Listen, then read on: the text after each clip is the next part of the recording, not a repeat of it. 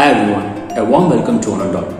BVM Global Coimbatore conducted an inter-school photography competition for senior as well as junior school. The categories included fun photos, pet photos, street photography, living nature, etc.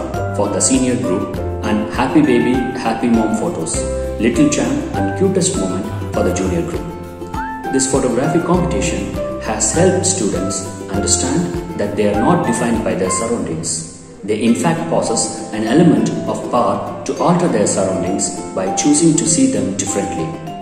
This extends beyond the students' immediate community by creating an awareness of the world around them.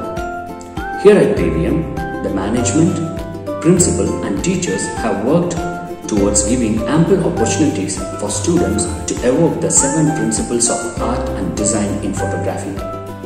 Balance, rhythm, pattern, emphasis, contrast, unity and movement.